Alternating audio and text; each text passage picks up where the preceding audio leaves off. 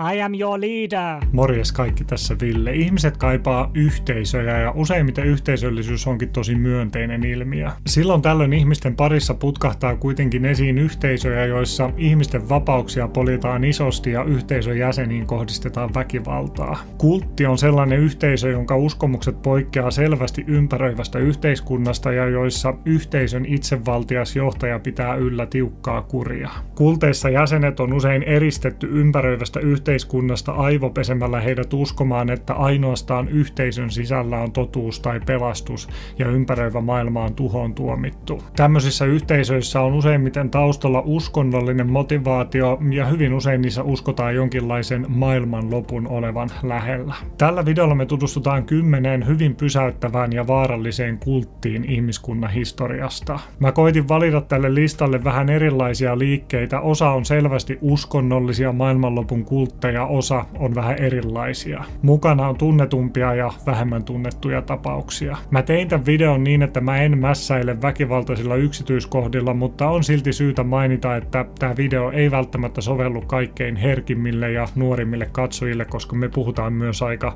rankoista teemoista ja tapahtumista. Muista hei ennen tätä listaa tsekata, onko sä tilannut tämän mun YouTube-kanavan. Mä julkaisen tänne joka viikko uusia mielenkiintoisia tutkimusmatkoja ihmismieleen ja maailmaan. Mun kanavan tilaajana sä viisastut joka viikko. Mutta eiköhän me katsota läpi kymmenen vaarallisinta maailmanlopun kulttia.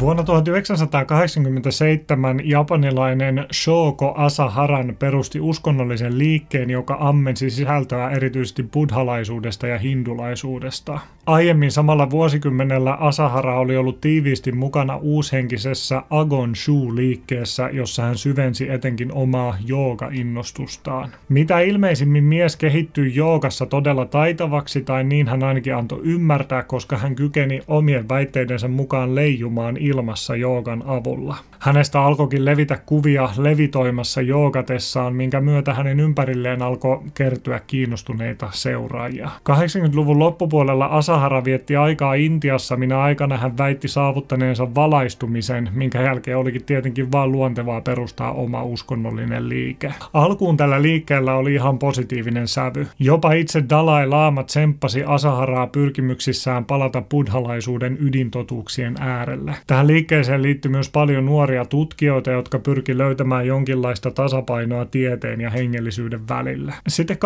ja 90-lukujen taitteissa Asaharan opetukset alkoi saada synkempiä maailmanlopun sävyjä. Hän alkoi kiinnostua Nostradamuksesta ja tulkitsi erään ennustuksen niin, että vuonna 1999 ihmiskuntaa kohtaisi suuri tuho. Asahara alkoi korostaa, että maailma kulkee vääjäämättä kohti tuhoa ja ihmisten tulisi liittyä hänen perustamaansa korkeimpaan totuuteen ja suojautua heidän rakentamaansa väestön suojaan. Korkein totuus, eli tämä yhteisö, oli valittu kansa, joka selviäisi tulevasta tuhosta. Koska maailma oli rappion vallassa, laillakaan ei ollut enää niin väliä. Korkein totuus alkoi tehdä rikoksia. Ryhmän jäsenet muun muassa surmasivat erään asian ajajan, joka edusti ryhmän oikeuteen haastaneen perheen jäseniä. Jäseniä alettiin myös värvätä kyseenalaisin keinoin hyödyntämällä muun muassa huumeita, univajetta, sieppauksia ja väkivaltaa.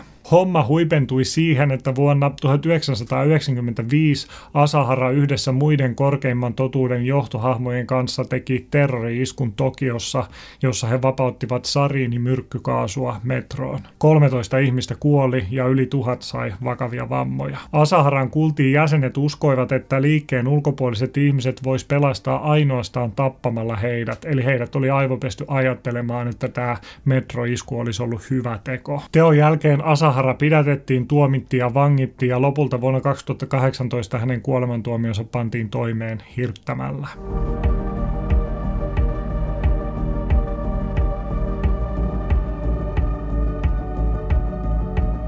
Monia ihmisiä kiinnostaa salatieteet, okkultismi ja muinaisten veljeskuntien, kuten temppeliherrojen viisaus ja mystiikka. Toisilla homma menee kuitenkin aivan liian pitkälle. 1970-luvulla kelloseppä Joseph Di Mambro alkoi pitää Sveitsissä yleisöluentoja, joissa hän esiintyi henkisen kasvun äärelle johtavana psykologina. Miehen ympärille alkoi kehittyä seuraajajoukko ja liike, jolla oli kaksi ulottuvuutta. Pinnalta käsin se vaikutti yhteisöltä, joka vaalii henkisyyttä, luontoa, taidetta ja kulttuuria. Pinnan alla piilivät kuitenkin salatieteet, mystiset rituaalit ja erikoiset uskomukset. Liikkeen sisäpiirille Dimambro kertoi olevansa kosmisen tietoisuuden välittäjä, joka pystyy kommunikoimaan näkymättömien ruusuristiläisten kanssa. Nämä tuonpuoleiset ruusuristiläiset muodostivat veljeskunnan, joka majaili maanalaisessa valtakunnassa. Joseph de Mambron uskonnollinen lahko Auringon temppeli uskoi, että lopulta maailma tuhoutuu tulessa, ja sen takia liikkeen jäsenten pitäisi paeta Sirius-tähdelle valoolentoina. Tämmöisestä uskomuksesta oli lyhyt matka tekoihin. Lokakuussa 1994 Kanadan Kepekissä kultin tiloista löydettiin surmattuna kolmen kuukauden ikäinen vauva. Vain päiviä sen jälkeen lisää kultin jäseniä joko tapettiin tai he tekivät itsemurhan. Kanadasta, Sveitsistä ja Ranskan alpeilta löydettiin vuosina 94-95 kymmeniä auringon temppelin jäseniä, jotka olivat tehneet rituaalisia murhia itselleen ja toisilleen, koska uskoivat sillä tavalla pakenevansa maailman väistämätöntä tuhoa. Tällä tavalla menehtyi myös Joseph Di Mambro ja liike päättyi siihen.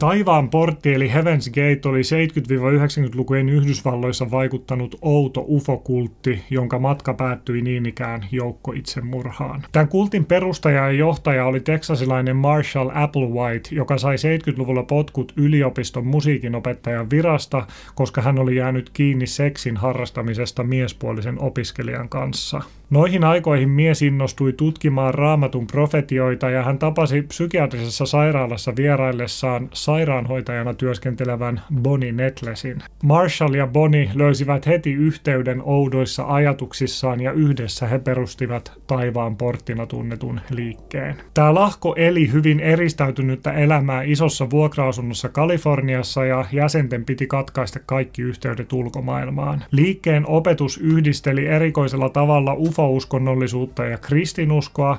He muun muassa uskoivat, että johtaja Marshall Applewhite on Jeesuksen reinkarnaatio ja että hylkäämällä oman ihmisluontonsa ihminen voi muuttua ulkoavaruuden olennoksi ja korottautua avaruuteen uudelle olemisen tasolle. Lopulta maaliskuun kolmantena päivänä vuonna 1997 San Diegon sheriffi löysi 39 joukkoitsemurhan suorittaneen ihmisen ruumiit tämän liikkeen tiloista.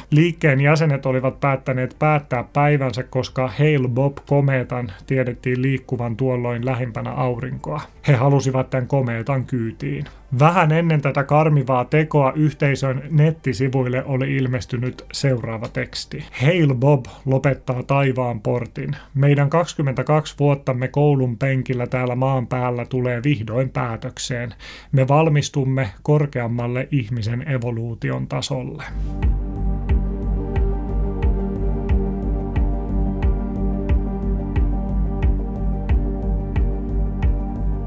Teksasilainen Amy Carlson kasvoi 70- ja 80-lukujen Dallasissa. Hän oli huippuoppilas, mutta vanhempien mukaan jo nuorena aikuisena hänellä alkoi olla erikoisia puheita ja uskomuksia. 2000-luvun mittaan Amy kuitenkin meni naimisiin, sai lapsia ja teki ihan tavallista päivätyötä McDonaldsin vuoropäällikkönä. Samaan aikaan hän kuitenkin syvensi kiinnostustaan New Age uushenkisyyttä ja paranormaaleja ilmiöitä kohtaan. Yksi nettisivu, jonka äärellä hän vietti paljon aikaa, aikaa oli lightworkers.org, jolla hän tapasi myös Amerit White Eagle-nimisen miehen. Amerit sai Aimin vakuutettua siitä, että Amy olisi jumalallinen ja nainen alkoi kokea yhä enemmän yliluonnollisia ilmiöitä. Lopulta vuonna 2007 Amy päätti jättää perheensä ja muuttaa Ameritin luokse Coloradoon. Siellä he perustivat uuden uskonnollisen liikkeen, jossa Amy uskoi olevansa äitijumala ja Amerit isäjumala. Eri Erityisesti Eimin äitijumaluuden ympärille muotoutui sitten outo uusi uskonnollinen kultti, jossa pieni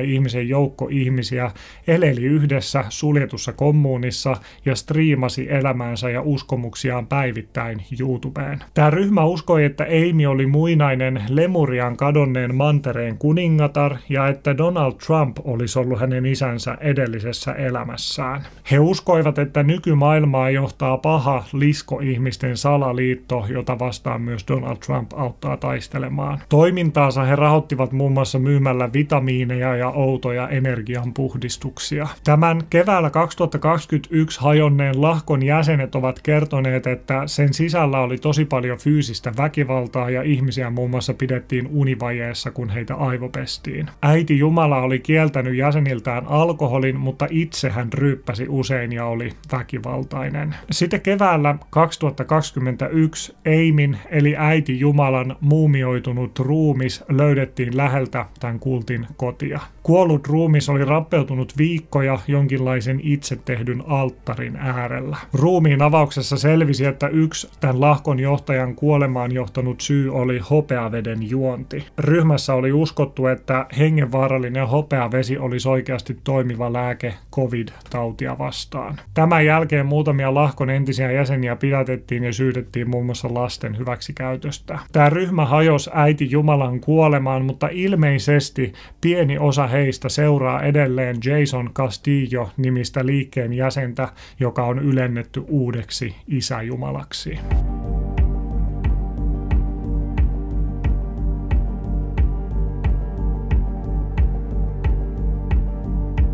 Davidin oksa oli adventisteista 50-luvulla erkaantunut uskonnollinen liike, joka odotti kovasti maailman loppua. Tämä liike nousi isoon julkisuuteen erityisesti sen loppuvaiheella vuosina 87-93, kun se vaikutti Wakossa Texasissa ja sen johdossa oli David Koresh. David Koresh uskoi olevansa viimeinen profeetta ja hänen johdossaan Davidin oksa alkoi muuttua suljetuksi kultiksi, jota hän johti kovin ottein. David Koresh muun muassa opetti, että liikkeen jäsenten pitäisi elää selibaatissa, mutta hän itse sai olla moniavioinen. Koresh alkoi syyllistyä väkivaltaan liikkeensä jäseniä kohtaan. Hän raiskasi naisia alaikäisistä tytöistä lähtien, saarnaten samalla vanhan testamentin tekstien valossa, että hänellä olisi muka oikeus kymmeniin vaimoihin ja jalkavaimoihin. Arvellaan, että tämän liikkeen jäsenet synnytti Koresille toistakymmentä lasta. Kun Davidin oksa alkoi sitten muuttua yhä vainoharaisemmaksi, he alkoivat aseistautua ja siten herättämään myös viranomaisten huomion. Lopulta 28. päivä helmikuuta vuonna 1993 viranomaiset tekivät ratsian liikkeen tiloihin, mikä johti tulitaisteluun lahkolaisten kanssa. Tulitaistelussa kuoli neljä viranomaista ja kuusi kultin jäsentä. Aseellista yhteydenottoa seurasi se, että viranomaiset FBIn johdolla piiritti kultin tiloja 51 päivää ja lopulta hyökkäsivät täysin voimin aseellisesti sisään. Lahkon loppu oli hyvin sotaisa. FBI käytti hyvin raskasta aseistusta ja kyynelkaasua ja lopulta liikkeen 85 jäsenestä 76 kuoli. Elon jääneet jäsenet joutuivat vankilaan.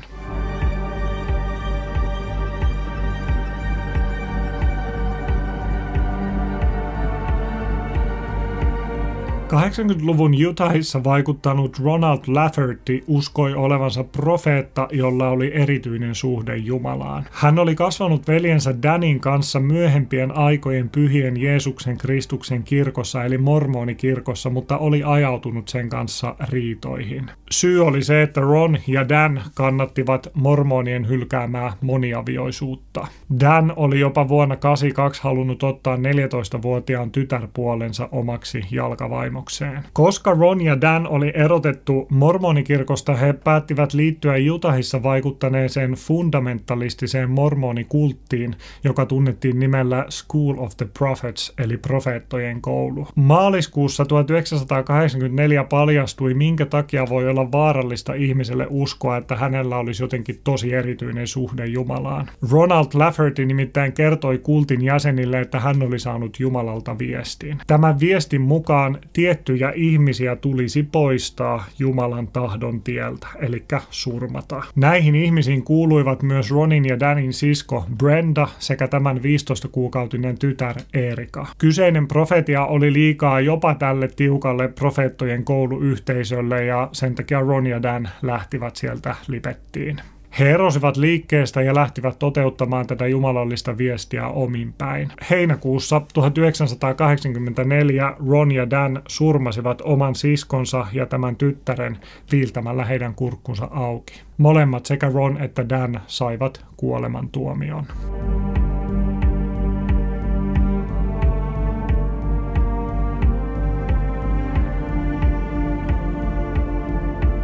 Perhe eli nykyiseltä nimeltään The Family International on vuodesta 1968 alkaen toiminut kristillinen liike, joka keräsi pahamaineisuutta erityisesti vuosina 68-77 toimiessaan nimellä The Children of God, eli Jumalan lapset. Jumalan lapset olivat Kaliforniassa uskoon tulleita hippejä, joita johti Father Moses, eli Isä Mooses, nimitystä kantava pastori David Berg. Liike itse ajatteli, että he tekevät kristillistä evankelioimistyötä, eli he pyrkivät käännyttämään ihmisiä, ja sitten kun ihmiset kääntyi uskoon, he eristivät heitä muusta maailmasta elämään yhteisön omiin suljettuihin kommuneihin. Isä Mooses uskoi, että maailman loppu oli lähellä, ja kouluja ja valtioita riivasi itse saatana, joten oli parempi kerätä valitut yhteen oikeaoppisten yhteisöihin. Tässä liikkeessä syntyi myös yksi hyvin mielenkiintoinen tapa tehdä käännytystyötä, eli niin sanottu flirttailulähetys, jossa naiset ryhtyivät seksisuhteeseen miesten kanssa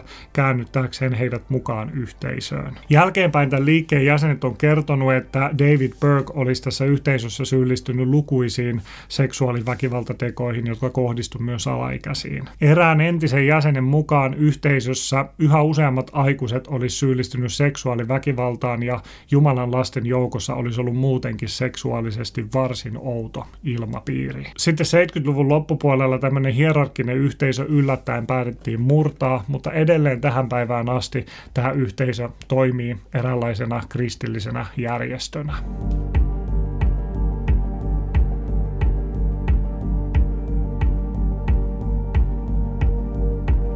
NXIVM oli vuodesta 1998 noin 20 vuotta eteenpäin Yhdysvalloissa toiminut rikkaiden seksikultti. Tätä yhteisöä johti Keith Raniere-niminen mies, joka alkoi pyörittää verkostomarkkinointia. Siinä myytiin seminaareja ja erilaisia materiaaleja, jotka opetti ihmisille itsensä kehittämistä ja henkisyyttä. Tätä self-helppiin keskittyvää pyramidihuijausta Keith Raniere pyöritti New Yorkin Albanista käsin. Sisällöllisesti näiden seminaarien opetus oli erikoinen sekoitus vaikutteita sieltä sun täältä. Siihen oli sekoitettu muun muassa teosofiaa, psykoanalyysiä, hypnoosia, skien Scientologiaa, NLPtä ja Tony Robbinsin opetuksia. Tämän self-help-bisneksen salaiseen ytimeen kehittyi kuitenkin Keith Ranieren ja muutamien muiden johtajien sisäpiiri, jolle annettiin nimeksi Dominus Obsequios Sororium, mikä tarkoittaa suunnilleen herrat orjanaisten yläpuolella. Tähän salaiseen DOS-sisäpiiriin liittyi ja pakotettiin yhteensä noin 150 naista, jotka kuuluivat sisäpiirin miesten herrat herroina pyörittämään orjuutuspyramidiin. Ensimmäiset naiset rekrytoitiin tähän sisäpiiriin sillä verukkeella, että naiset saisivat voimaantua, mutta ajan myötä heitä alettiin orjuuttaa ja kiristää eri keinoin. Nämä naiset joutuivat rankan alistamisen, kidutuksen ja seksuaaliväkivallan kohteeksi. Osalle heistä jopa poltettiin polttomerkintä Lantion seudulle, jossa oli Keith Ranieren nimikirjaimet. Ranieren tarkoituksena oli rakentaa tuhansien ihmisten laaja verkosto, jossa olisi ollut vaikutusvaltaisia miehiä herroina ja heidän alapuolellaan heille kuuliaisia naisorjia. Tässä toiminnassa oli mukana jopa julkisuuden henkilöitä. Nimekkäin oli Smallville-sarjasta tutuksi tullut näyttelijä Alison Mack, jonka tehtävä oli rekrytoida lisää naisia kultin sisäpiiriin. Vuonna 2017 useammat tutkivat journalistit pääsivät Keith Ranieren ja tämän kultin jäljille, mikä johti lopulta vuonna 2018 Ranieren ja muiden johtohenkilöiden pidätykseen. Lokakuussa 2020 liikkeen johtaja Raniere sai 120 vuoden vankilatuomion muun muassa ihmiskaupasta, kiristyksestä ja seksuaalirikoksista.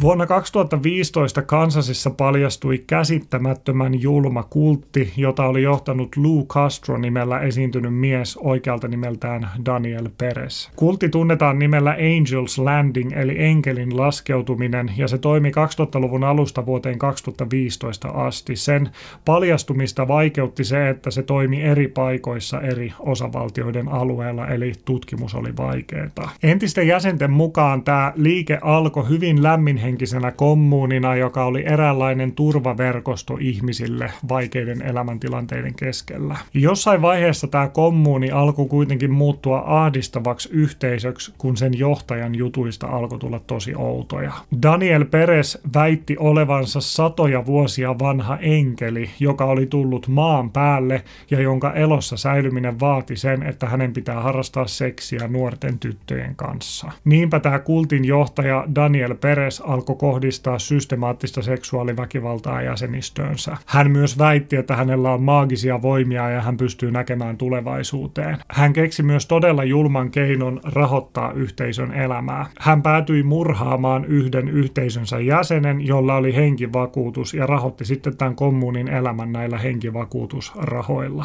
Lopulta kuitenkin juuri tämä epäilyttävä rahaliikenne koitui miehen kohtaloksi, kun viranomaiset alkoivat tutkia sitä. Daniel Peres saatiin onneksi lopulta kiinni ja vuonna 2015 hän sai 120 vuoden vankilatuomion 28 rikoksesta, joihin kuului muun muassa alaikäisiin kohdistuneita seksuaalirikoksia ja murha.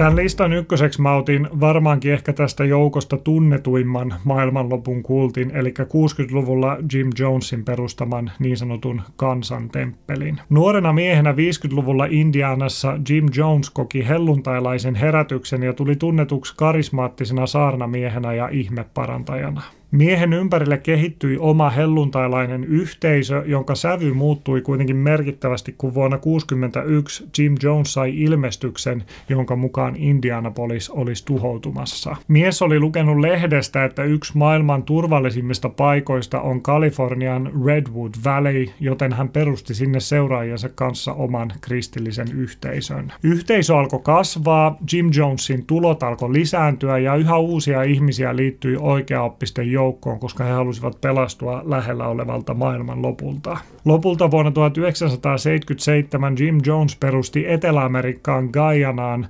Jonestown nimeä kantavan utopistisen maatalouskommuunin. Tässä yhteisössä oli ankara kuri, jäsenet eristettiin ulkomaailmasta niin, että heidän passinsa ja rahansa takavarikoitiin. Täällä Jim Jonesin vainoharrasuus alkoi kasvaa merkittävästi ja hän todennäköisesti syyllistyi jäsentensä pahoinpitelyyn, kiristämiseen ja jopa surmaamiseen. Pian mies alkoi opettaa, että yhteisön jäsenet otettaisiin turvaan taivaaseen ennen maailmanloppua. Hän alkoi järjestää iltoja, joissa valmistauduttiin tämmöiseen taivaaseen ottamiseen harjoittelemalla myrkkyjuomien juomista. Lopullisen sysäyksen viimeiselle ratkaisulle antoi se, kun demokraattisenaattori Leo Ryan matkusti yhteisöön tutkimaan, ovatko olot siellä inhimilliset vai ei. Tämä vierailu sujuu hyvin, mutta sen aikana eräs lahkon jäsen sujautti senaattorille viestin, että osa jäsenistä haluaisi paeta.